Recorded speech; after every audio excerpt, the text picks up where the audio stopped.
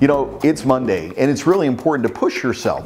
When you get to a point where you're ready to quit, lay down, stop, you got to push through and you got to get there.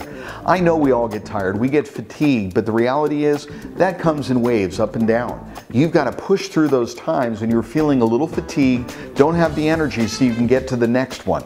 And if you do that, you'll find yourself working all day long but enjoying that process. I don't consider it work when you do something you love, and I love everything that I do.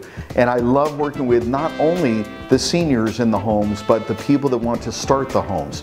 I don't get to spend a lot of time with those seniors, but I do know that working with people who do work with them with residential assisted living is one of those things I'm so passionate about. But at times you do get fatigued, but you just got to push on through to get to your goal. Push.